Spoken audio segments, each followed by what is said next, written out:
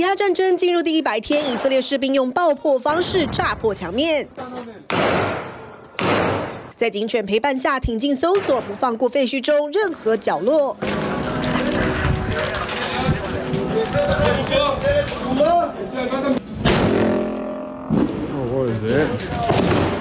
在加萨南部的甘尤尼斯，以军发现更多哈马斯武器弹药，并声称这些炮弹都藏在普通民宅里头。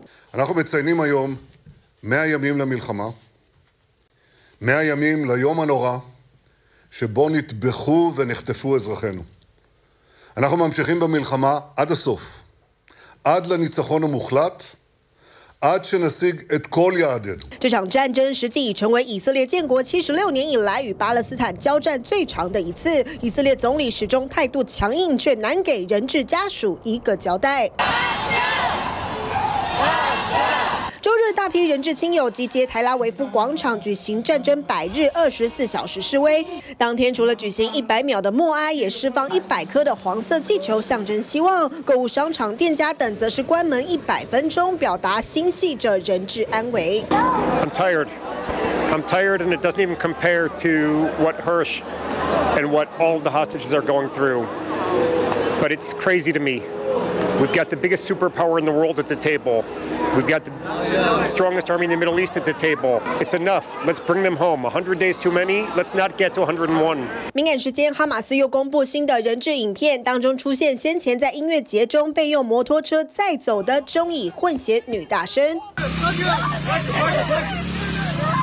另外两人则是五十三岁和三十八岁的男性人质。影片最后，哈马斯不忘威胁，将在隔天告诉外界这些人的命运。This is the um, dissonance, if you like, among the Israeli public, which is everyone is universally agreed that Hamas needs to be destroyed, almost universal. Everyone supports getting all of those hostages back home. Many saying that, look, these two objectives are contradictory. You can't keep destroying Hamas and at the same time expect them to come to the negotiating table. 一百天的战火使得加萨各地残破不堪，民众流离失所，医疗系统早已崩溃。We are now inside the hospital.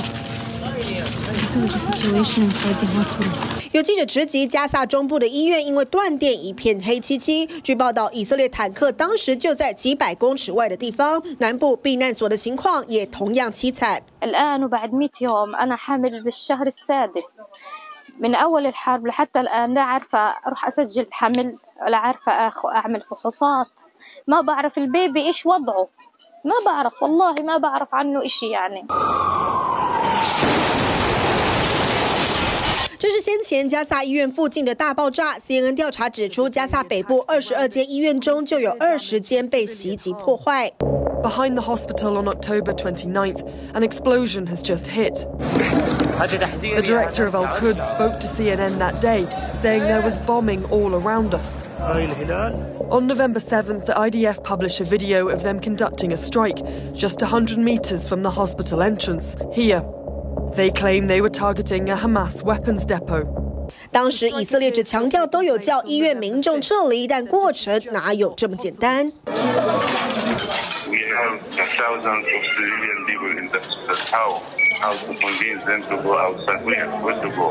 不过，以色列国防军仍然撇清，说他们没有攻击第二大的圣城医院。唯一的一次是十一月中，为了反击哈马斯成员从医院偷袭所做的交火，但当天直接酿成二十一死。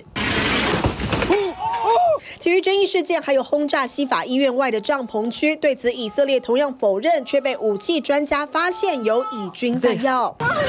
Is a remnant of an Israeli illumination shell. A couple hours later, and the maternity ward is hit. Here, part of an Israeli tank missile is found.